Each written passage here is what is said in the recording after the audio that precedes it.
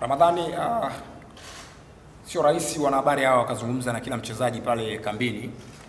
E, kwa hiyo uwepo wako hapa sasa tunaamini kwamba unawakilisha unawakilisha kile ambacho wachezaji wengine wangeweza kuzungumza kwa wanahabari ambao wao sasa wanachukua kile na kukifikisha kwa wapenzi wa soka eh, na wapenzi wa klabu yako ya Young African Sports Club.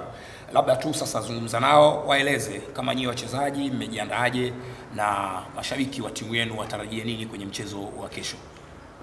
Uh, kwanza ningependa kumshukuru Mwenyezi Mungu kwa kuamka salama, na pili tunamshukuru Mwenyezi Mungu kwa kufanya mazoezi kwa kipindi hichi cha ligi kusimama, na natumaini mchezo wetu wa Ruvu Shooting siku ya kesho utakuwa ni mchezo mzuri sana, kwa sababu bado tuna malengo ya kwenda kuchukua ubingwa. Hatuko mbali sana na mtu ambaye anaongoza ligi. Kwa hiyo tunaheshimu Ruvu Shooting, lakini sisi kama wachezaji bado hatujakata tamaa na morali yetu iko vizuri sana. Pia tunahitaji kufanya vizuri katika mchezo wetu kesho dhidi ya Ruvu Shooting. Karibuni wanahabari kwa maswali. poteza mechi kwa magoli mengi dhidi ya Simba na wanakuja kucheza na nyinyi, wakati huo mkifahamu kuwa wakikutana na timu kubwa huwa hawachezi katika kiwango kile ambacho wengi wanakitegemea, wanabadilika, wanacheza zaidi ya asilimia mia moja.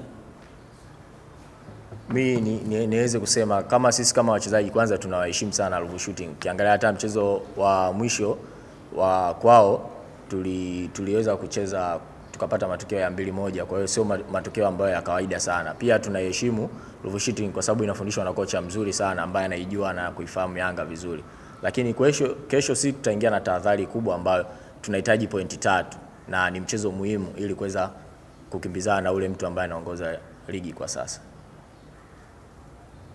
Swali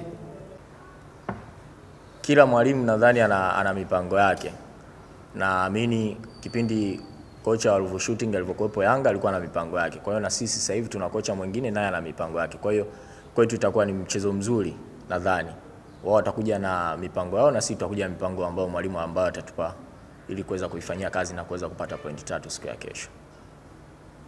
swali la mwisho kabla hatujawaruhusu kurejea kambini. Swali la mwisho. Swali la mwisho. Asanteni sana na tunawatakia kila la heri eh, katika maandalizi ya mchezo wa kesho. Shukrani.